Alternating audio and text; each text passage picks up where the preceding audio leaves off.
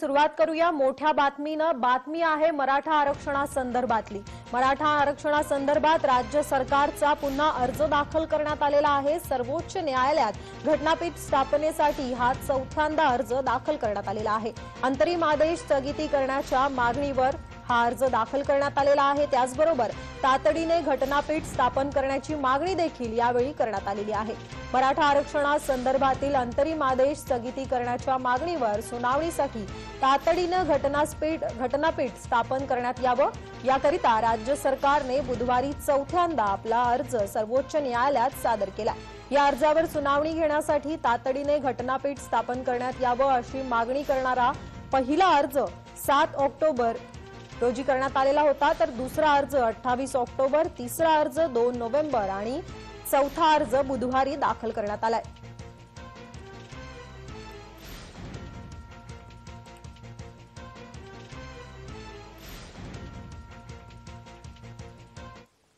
आता पाहूयात पुढची मोठी बातमी पुण्यातून. पुण्यामध्ये कोरोना रुग्णांची संख्या ही वाढताना दिसतीये.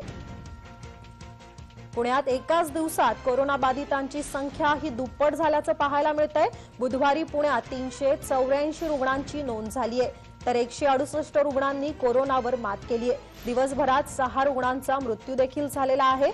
त्याचबरोबर चार हजार तीनशे शहाऐंशी जणांवर सध्या उपचार सुरू आहेत. आपण पाहतोय सध्याची मोठी बातमी. कोरोना संसर्ग हा दिवसेंदिवस वाढताना दिसतोय पुण्यामध्ये. कोरोना रुग्ण हे एका दिवसामध्ये तीनशे चौऱ्याऐंशी असल्याचं आढळून आलेलं आहे.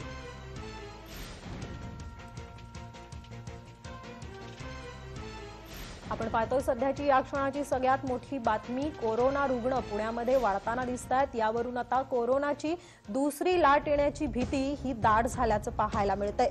कारण पुण्यामध्ये एकाच दिवसात तीनशे चौऱ्याऐंशी रुग्णांची नोंद झालेली आहे आणि त्यामुळे आता पुण्यामध्ये स्थिती ही चिंताजनक बनत चाललेली आहे.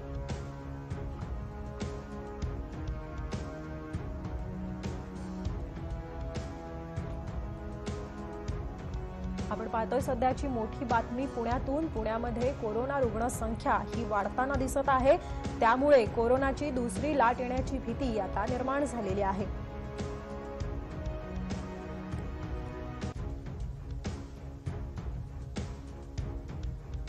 आपल्यासोबत जोडले गेलेत आमचे प्रतिनिधी ज्ञानेश्वर हिंगोलीकर. ज्ञानेश्वर आपण पाहतोय पुण्यामध्ये कोरोना रुग्णसंख्या ही वाढताना दिसत आहे. पुण्यामध्ये एक दिवस असा आलेला होता की कोरोना रुग्ण नाहीये त्यामुळे कोविड सेंटर बंद होत होते आणि आता अचानक कोरोना रुग्णसंख्या वाढतीये. नक्की काय कारण आहे? आपण जर गेल्या काही दिवसांचा विचार केला तर मोठ्या प्रमाणात वेगवेगळ्या गोष्टी सुरू झाल्या. अर्थात आतापर्यंतचा विचार करत असताना मंदिरं सुरू झाली. येत्या काळात शाळा देखील सुरू होणार अशी चर्चा. याला जोड अशीच आहे की कोरोना आपण त्यावर नियंत्रण आणण्यासाठी यशस्वीपणे प्रयत्न करतोय. मात्र आत्ताची जर ही सगळी परिस्थिती पाहिली तर पुण्यात एकाच दिवसात कोरोनाबाधितांची संख्या आहे ती जवळजवळ दुप्पट झालेली आहे. बुधवारी तीनशे चौऱ्याऐंशी ज्या रुग्णाच्या शहरामध्ये आढळून आलेले आहेत एकीकडे रुग्णसंख्या वाढती आहे. त्याला जोडून अशीही चर्चा आहे की कोरोनाची दुसरी लाट येणार तेव्हा कोरोनाची दुसरी लाट येत असताना ती वाढती रुग्णसंख्या पुणेकरांसाठी धोका निर्माण करणारी आहे भीती निर्माण करणारी आहे. एकूणातच आपण जर बाहेर रस्त्यावरचं चित्र पाहिलं तर गर्दीचं प्रमाण वाढलेलं आहे. टाळेबंदी असताना गर्दी कमी होती तरीही रुग्णसंख्या वाढत होती. आता मात्र तसा जर विचार केला तर लोक घराबाहेर मोठ्या प्रमाणात पडलेले असताना देखील पूर्वी जितकी रुग्णसंख्या वाढत होती तितकी वाढताना दिसत नाही. त्याला जोडीला कारण असं सांगितलं जातं की लोक चाचणी करण्यासाठी पुढे येत नाही जर का लोक बाहेर येत आहेत त्यामुळे रुग्णसंख्या वाढतीये की चाचण्यांचं प्रमाण वाढलंय त्यामुळे रुग्णसंख्या वाढते. नेमकं कारण काय? चाचण्यांचं रुग्णांच्या ज्या प्रमाण होतं ते मात्र काही वाढलेलं दिसत नाही. कारण पूर्वी मोठ्या प्रमाणात चाचण्या होत होत्या. आता अलीकडे लोक चाचणी करण्यासाठी केंद्रावर जात नाहीत चाचणी करत नाही मात्र तरी देखील ही जी रुग्णसंख्या आहे ती वाढताना पाहायला मिळते आणि म्हणून भीतीचं वातावरण आहे. रुग्णसंख्या एकाच दिवसात दुप्पट झाल्याचा आपण पुण्यात पाहतो आपण. नक्कीच. धन्यवाद ज्ञानेश्वर तू दिलेल्या माहितीसाठी.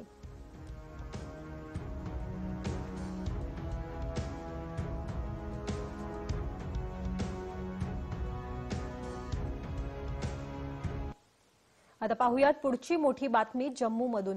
जम्मूमध्ये पुन्हा चकमक पाहायला मिळालेली आहे. दहशतवादी आणि सुरक्षा रक्षकांमध्ये चकमक झालेली आहे.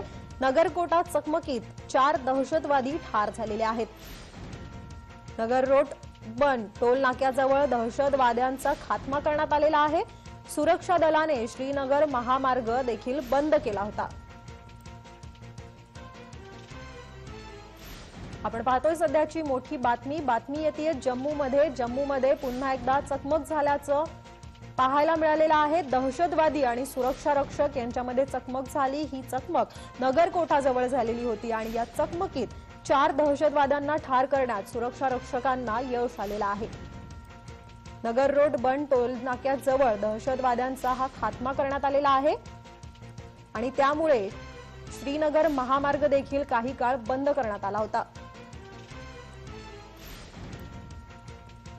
आपण पाहतोय सध्याची मोठी बातमी या क्षणाची मोठी बातमी. गेले कित्येक दिवस जम्मूमध्ये चकमक होत होती बॉर्डरवर चकमक होत होती आणि आता जम्मूमधील नगरकोटा येथे देखील चकमक झालेली आहे आणि या चकमकीमध्ये दहशतवाद्याच्या चार दहशतवाद्यांना ठार करण्यात सुरक्षा रक्षकांना यश आलेलं आहे. या दहशतवादीनंतर काही काळ श्रीनगर महामार्ग देखील बंद करण्यात आलेला होता.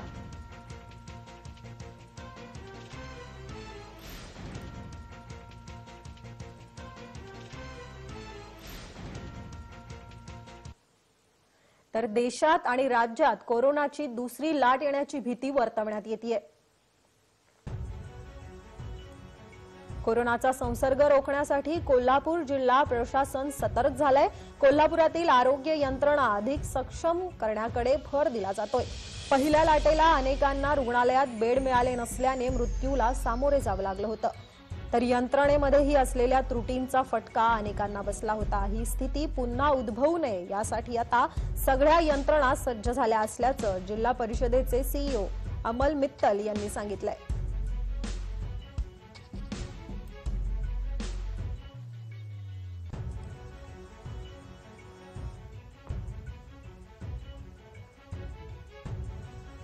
कोल्हापूरमध्ये पण दुसरी येण्याची शक्यता आहे. आणि त्यांना काही कोणी नाकार नाकारू शकत नाही. डिसेंबर किंवा जानेवारीमध्ये ते येण्याची शक्यता आहे. आणि हे खूप गंभीर बाब आहे कारण की आम्ही सगळ्यांनी बघितलेलं आहे की ज्या- ज्यावेळी पहिली लाट होती त्यावेळी किती किती जास्त केसेस येत होते आणि त्यामुळे किती लोकांना त्रास सुद्धा झाला काही लोकांना जीव पण गेला. तर त्यासाठी आमची सगळ्यांची विनंती हेच आहे की सर्व लोकांनी स्वतःची काळजी घ्यावा. आणि जे पूर्वीचा जो सेम मंत्र आहे सॅनिटायझर मास्क आणि सोशल डिस्टन्सिंग हे तीन गोष्टीचा वापर करावा.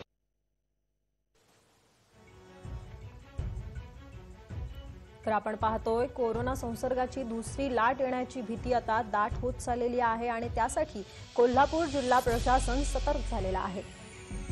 पहिल्या लाटेमध्ये जो दुष्काळ जो निष्काळजीपणा झालेला होता तो रोखण्यासाठी आता कोल्हापुरात प्रशासनाने कंबर कसलेली आहे.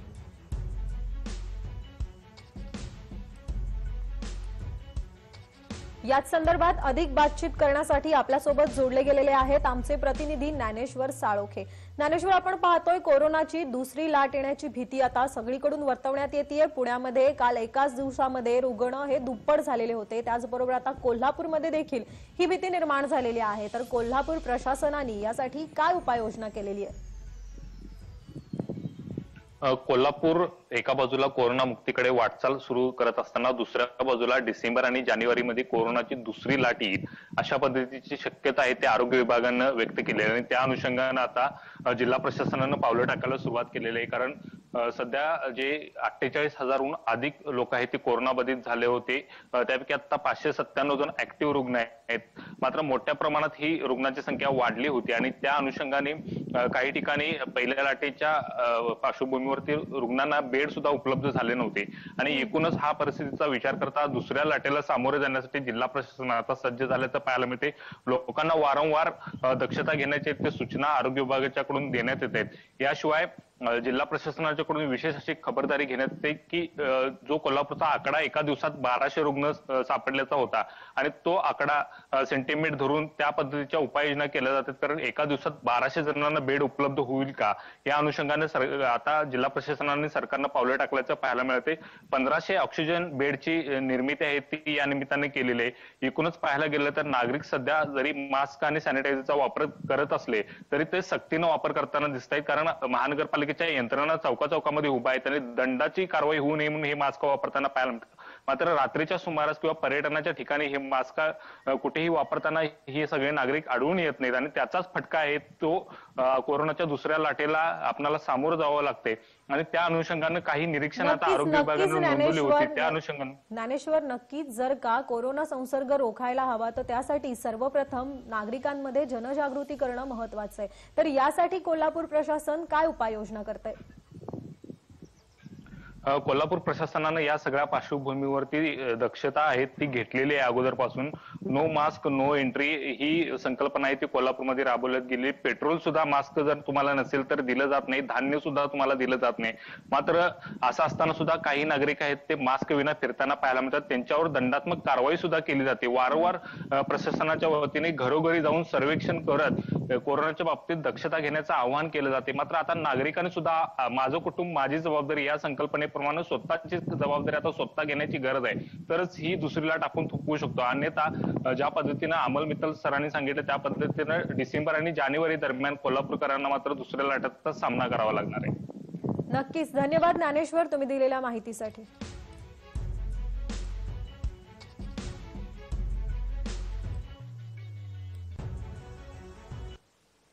पाहुयात पुढची मोठी बातमी मुंबईतून. भाजपचा झेंडा मुंबई मनपावर फडकणारच असं देवेंद्र फडणवीस यांनी म्हटलेलं आहे. राज्य सरकारकडून जनतेचा विश्वासघात देखील होत असल्याचा आरोप यावेळी देवेंद्र फडणवीसांनी केलेला आहे. भाजपचं मिशन मुंबई सुरू झाल्याचं देखील ते बोललेले आहेत. भाजपने मुंबई महानगरपालिकेवर आपला झेंडा फडकवण्यासाठी कंबर कसलेली आहे? मुंबई भाजपच्या कार्यकारिणीची बुधवारी मुंबईत बैठक झालेली आहे. यावेळी विधानसभेचे विरोधी पक्षनेते देवेंद्र फडणवीस यांनी कार्यकर्त्यांना मार्गदर्शन करताना बीएमसीत सत्ता परिवर्तनासाठी तयार राहायला सांगितलेलं आहे.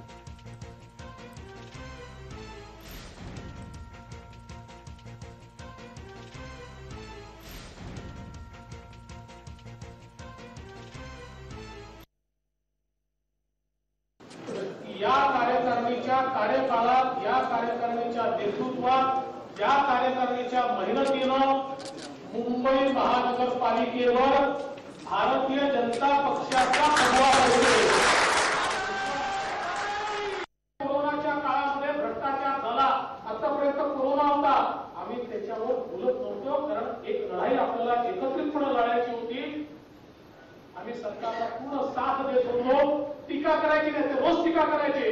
केंद्र सरकारवर करायचे. आम्ही ठरवलं होतं टीका करायची नाही. आपण टीका करत नव्हतो. पण आता मात्र यांची लक्तर पेशीवर टाकल्याशिवाय राजाचा जीव पोपटा पोपटामध्ये राक्षसाचा जीव पोपटा म्हणून राक्षस वगैरे म्हणत नाही. राजाच म्हणतो. राजाचा जीव पोपटामध्ये. आणि काही लोकांचा जीव मुंबई महापालिका त्यामुळे भ्रष्टाचाराचा आगार असलेली ही महानगरपालिकेची सत्ता दोन हजार बावीसमध्ये मजबूत झाली. तर बीएमसीवर भाजपचा झेंडा का गरजेचा वाटतोय पाहूयात ग्राफिक्सच्या माध्यमातून. मुंबई मनपाची सत्ता देश पातळीवर लक्षवेधी. त्याचबरोबर मुंबई मनपा देशातील सर्वात श्रीमंत महानगरपालिका आहे. मुंबई मनपा शिवसेनेची आर्थिक नाडी देखील आहे. मुंबई मनपामुळे भाजपाला संघटनात्मक बळ मिळू शकतं. मुंबई मनपातून अमराठी व्यावसायिकांचं भरण पोषण होतं.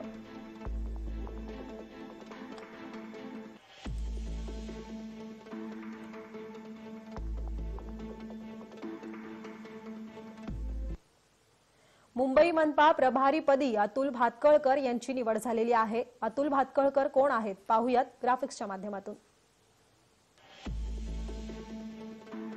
अतुल भातकळकर हे कांदिवली पूर्व विधानसभेचे दुसऱ्यांदा आमदार झालेले आहेत.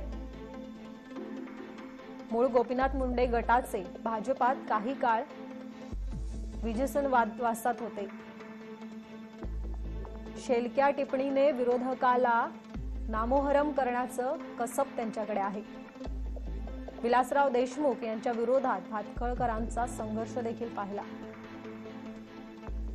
कम्युनिस्ट राजवटीतील डाव्यांच्या अत्याचारावर प्रबंध लेखन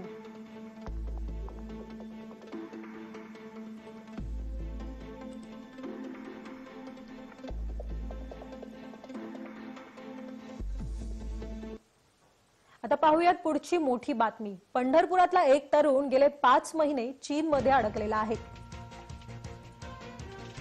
गेल्या पाच महिन्यांपासून भारतीय हे चीनमध्ये अडकलेले आहेत चीनच्या हद्दीत अडकलेले आहेत. मात्र सरकारकडून कसलीही मदत मिळत नाहीये.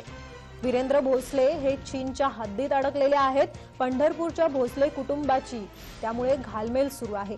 वीरेंद्र भोसले यांनी चीनच्या हद्दीत अडकलेल्या जहाजावरून काय आवाहन आहे?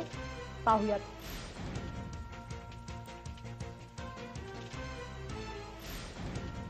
तेरह जून से यहाँ फंसे हुए हैं। न चाइनीज़ गवर्नमेंट कोई इंटरवीन कर रहा है, ना इंडियन गवर्नमेंट इंटरवीन कर रहा है। हमारी कंपनी भी कोई इंटरेस्ट नहीं दिखा रही, न हमारे जहाज़ के टॉप फोर ऑफिसर्स हैं वो हमारे रिहाई के लिए कोई प्रयत्न कर रहे हैं, ऐसे लगता है। सब लगता है पैसिव लोग हैं। कंपनी अपना कमर्शियल इंटरेस्ट बाजू रख के हमारे लिए थोड़ा नुकसान सह ले और शिप यहाँ से किसी दूसरे पोर्ट पे लेके हमारी रिहाई करे। ही कॉन्ट्रॅक्ट हे जे पाच महिने आणि तो इ- चीनच्या पोर्टवर गेलेला आहे. पण चीननं परमिशन न दिल्यामुळं आज पाच महिने झालं त्यांची शिप अँकरवर उभा आहे आज ही मुलं पाच महिनं पाण्यात आजूबाजूला सर्व पाणी असताना शिपवर पाण्यात काम करतात. हम यहाँ चौदह महीने से फंसे हुए हैं और हमारा कॉन्ट्रैक्ट नौ महीने का होता है और पाँच महीने से हमारी कंपनी हमें झूठा दिलासा दे रही है कि तुम्हारा साइन अप दो दिन में हो जाएगा, चार दिन में हो जाएगा, हम जापान ले जाएँगे सिर्फ़ और हमारे घर वाले फ़ोन कर करके कंपनी में पागल हो गए हैं कि कब आएगा हमारा बच्चा हमारा बच्चा। तो कंपनी को झूठा दिलासा दे रही है। बस दो दिन में चार दिन में हम जापान ले जाएंगे और सिर्फ सबका साइन अप करेंगे। तर कांजूरमार्ग कारशेडच्या जागेवरून पुन्हा वाद निर्माण झाल्याचं पाहायला मिळतंय. विकासाचा दावा कांजूरमार्गच्या जागेवर बांधकाम थांबवा. गरोडिया बिल्डर्सने एमएमआरडीएला नोटीस दिलेली आहे. गरोडिया बिल्डर्सची ही नोटीस एमएमआरडीएला देण्यात आलेली आहे. भाजप आणि काँग्रेस यांच्यामध्ये आता शब्दबाण यावरून सुरू झालेले आहेत.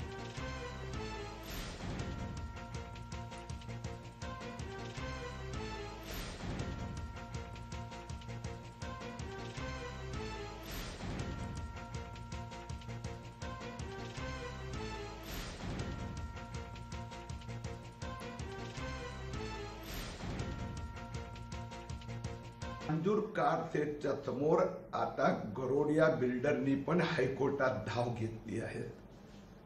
आम्ही पहिल्या दिवसापासून सांगत होतो की ठाकरे सरकार चिटिंग करत आहेत. या जागेवर अनेकांचे कोर्ट केसेस आहेत. ठाकरे सरकारच्या जिद्दीमुळे कांजूरला कार सेट शिफ्ट करण्याचा निर्णयमुळे पाच हजार कोटी रुपये अधिक खर्च आणि पाच वर्ष प्रकल्प रेंगाळणार. मार्ग येथील जमीन ही पूर्णपणे राज्य सरकारची आहे. हा निर्वाळा कोणी दिला होता? तर चंद्रकांत पाटील यांनी दिला होता. चंद्रकांत पाटीलांना देखील खोटं तुम्ही आता म्हणायला लागलेला आहात. विरोधी पक्षात गेल्यानंतर तुमची भूमिका कशी बदलते हे आता दिसतं. ज्या चंद्रकांत पाटील यांनी निकाल दिला होता त्या निकालामध्ये करोडिया नावाचा कोणी पार्टी नव्हता कोणी लिटिगंट नव्हता. याचं उत्तर दिलं पाहिजे. का नव्हता? कांजूरमार्ग इथे मेट्रोची कारशेड नेण्याचा निर्णय हा अव्यवहार्य असल्याचं सांगताना फडणवीसने राज्य सरकारांनी राज्य सरकारच्या निर्णय प्रक्रियेवर टोमणा मारलेला आहे.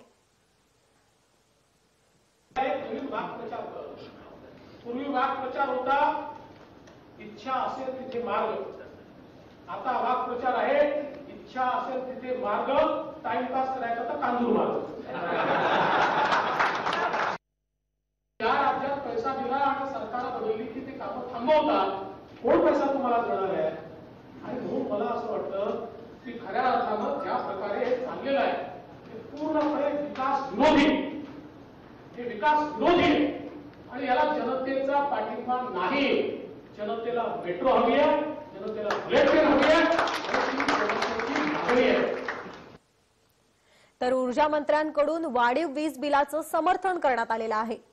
डॉक्टर नितीन राऊत यांनी ठरवले भाजपाला जबाबदार. राऊत यांनी ट्विट करून भूमिका मांडली असून ते म्हणाले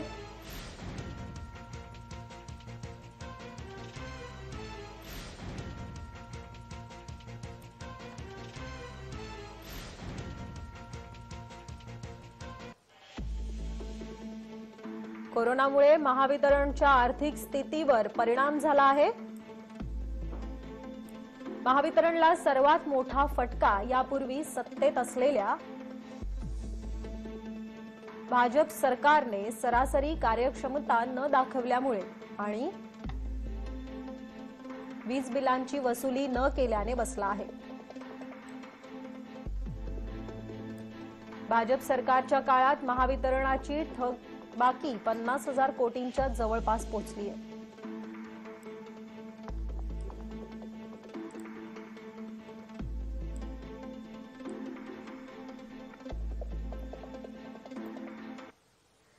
वीज बिल वसुलीच्या सक्ती विरोधात मनसेनं आंदोलन केलेलं आहे. मनसेचं हे आंदोलन गुरुवारी करण्यात आलं.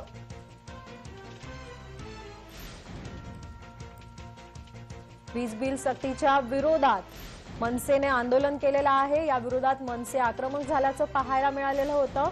मनसेची गुरुवारी मुंबईत बैठक देखील होणार आहे.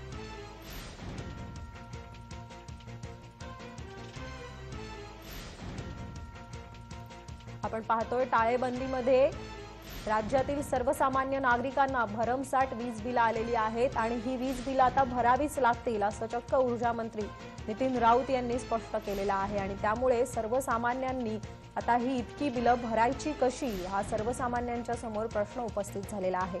आणि या वीज बिल वसुलीच्या सक्तीच्या विरोधात आता मनसे देखील आक्रमक झाल्याचं पाहायला मिळालं.